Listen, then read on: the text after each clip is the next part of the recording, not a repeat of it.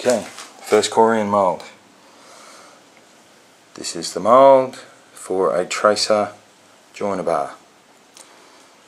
That's the gel coat in there already. A couple little buttons, I don't know if you can see them. Just for locating the mould.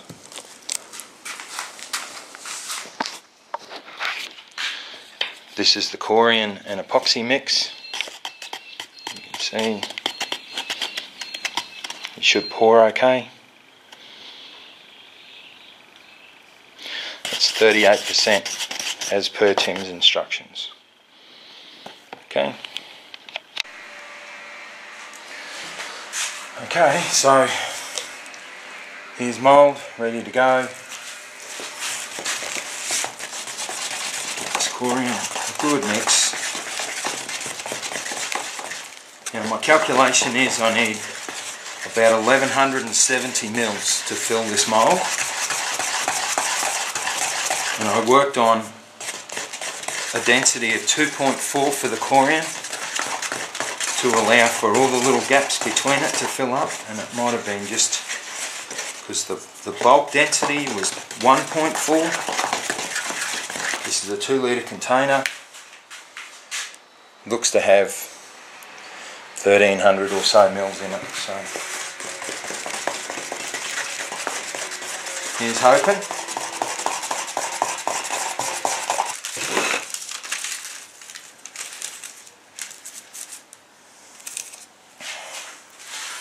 Here goes nothing.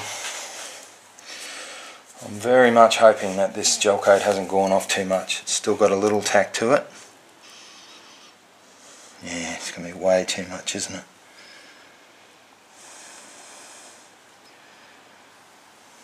Boy, that's that flows really nicely. It seems to be leveling really nice as well.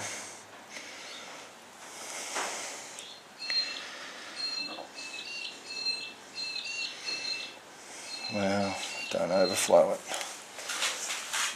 Of course, making this on a level surface might have been a good idea too. That looks like it'll be too much.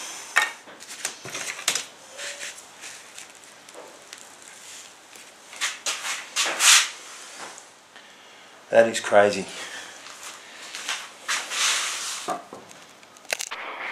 Okay, well that's how much is left in the container, so Thanks very much.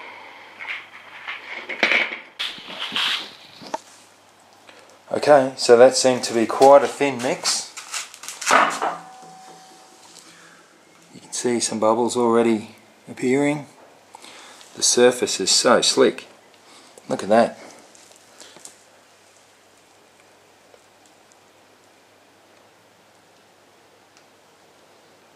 So I suppose I'll hit it with the hairdryer in a moment and see how we go. I reckon this is worth seeing.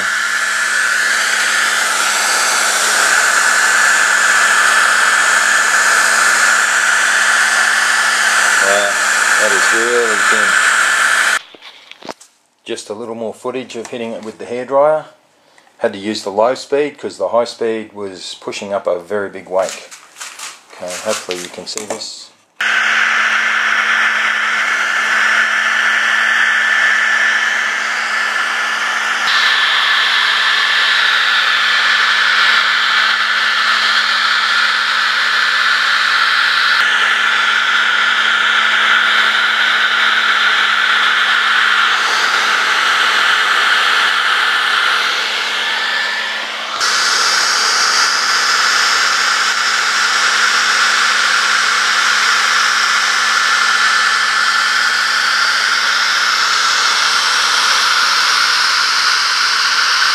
Trying to angle the stream in so it doesn't push the mixture up over the side